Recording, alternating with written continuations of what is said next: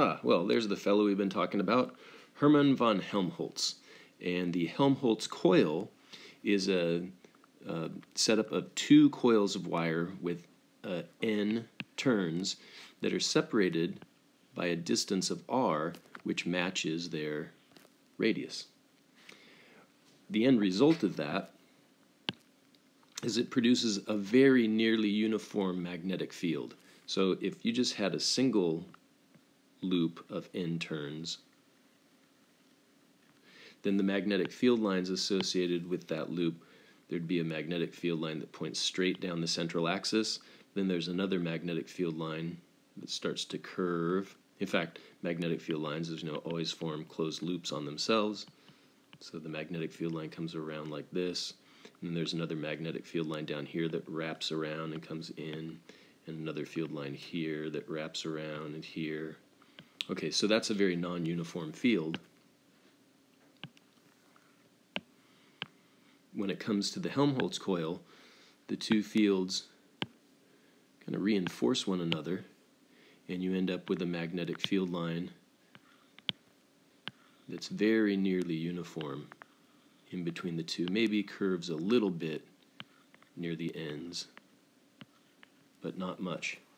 All right. So let's review what we already know about loops of wire. If you have a single loop of wire, in other words, n equals 1, then the magnetic field at the center is mu naught I over 2r, where r is the radius of the loop. Then in the previous lesson, we found if we take a loop of wire, turn it on its side, and present an x-axis, and so we project the point at the center at some distance down the x-axis. Then the magnetic field at this point P is equal to mu naught I times r squared divided by 2 times the quantity x squared plus capital R squared to the 3 halves. Now let's just take a minute and see that these two agree with one another. So if I take the point P and I push it back to the center, then all I'm really saying is x equals 0.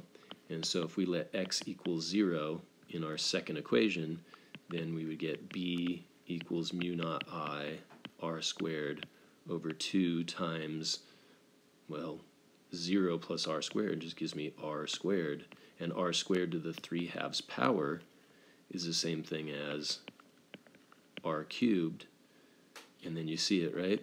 r squared over r cubed this would all just resolve back down to b equals mu naught i over 2 pi r. So, not bad. And then, um, what else can we add to this? We've got equation number one for a single loop. We've got equation number two for a single loop, but projecting the point away from the center.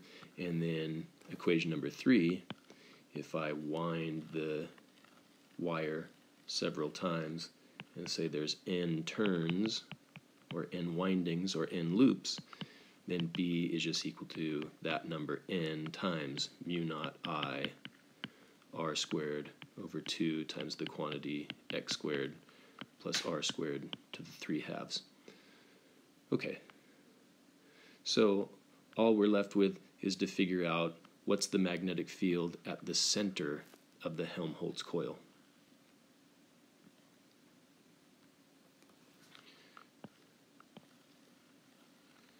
So if I have two coils, and the key to the Helmholtz coil is that the separation between the two matches the radius of either one, well then the magnetic field just adds up. The magnetic field from the first one creates a magnetic field that points to the right at the point in question, and then the second coil also has magnetic field lines down the central line pointing in the direction of positive x, and so its field adds at point P, and so the net magnetic field would be equal to 2 times n mu naught i r squared over 2 times the quantity x squared plus r squared to the 3 halves. And so we just get the 2 uh, cancels out. So the magnetic field at the midpoint of the Helmholtz coil. Now, by the way, to say the magnetic field at the midpoint is really to say the magnetic field at just about all points in between the coils, because that's the key to the Helmholtz coil, is it creates a gosh darn near uniform field.